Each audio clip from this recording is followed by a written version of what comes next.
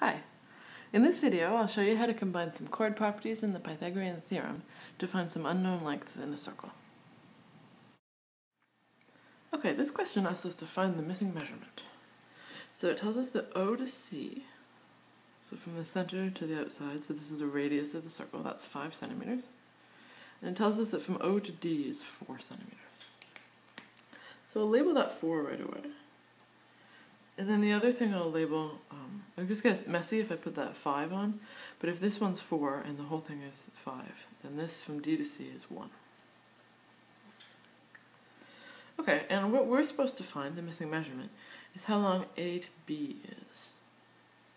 So here we have a chord on a circle, a chord on a circle, and we've got this line that comes from the center out to the edge of the circle, and it's perpendicular to the chord.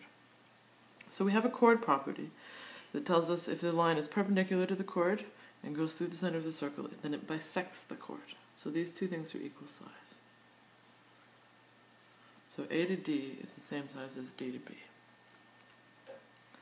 Um, the reason that's good is that if we know how long A to D is, we just double it, and we'll have our the question, answer to the question that we're supposed to that we're supposed to answer. Okay, so right now we don't really have a lot to go on. We don't exactly know how big this is. But the trick in these, there's always basically one trick in these kinds of questions. And the trick is to draw in a radius. Um, so a line from the center of the circle out to the edge somewhere. And there's usually one place that's uh, really helpful.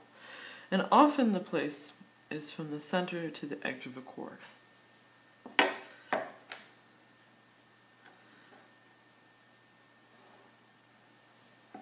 So I'll draw that in. The reason it's often helpful to draw in a radius is because every radius is the same length. So here we know that O to C is 5, so that means that OA, which is another radius, is also 5. Okay, and now we've got a right triangle, we know two of the lengths of two of the sides, so we can just use Pythagorean theorem on that triangle, and we can find A to D. Once we do that, we'll double it to get AB. So in triangle OAD, we have the hypotenuse squared, so OA squared equals AD squared plus OD squared.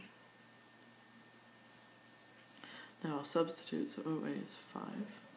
So 5 squared equals AD. I don't have a length for that, I'll call it X x squared plus OD is 4, so it's 4 squared. And then hopefully you recognize the Pythagorean triple there, but if you don't, we'll just continue. We've got 25 equals x squared plus 16. And then if we subtract 16 from both sides, we've got 9 squared equals x, sorry, 9 equals x squared. Take the square roots, we have x equals 3. So from A to D is 3 centimeters. We know that AD is 3, and we also know that BD is also 3. So AB equals, so it's 3 plus 3, 6 centimeters. There we go. Um, that's it. So the key ideas here, we're remembering the chord theorem that says if we have a perpendicular line to a chord that goes through the center, then it bisects the chord. So these two halves are equal. And then the other key trick here was to draw in this radius. So you'll often on these questions need to draw in a radius and then remember that it's the same length as another radius that you already know. Okay, good luck.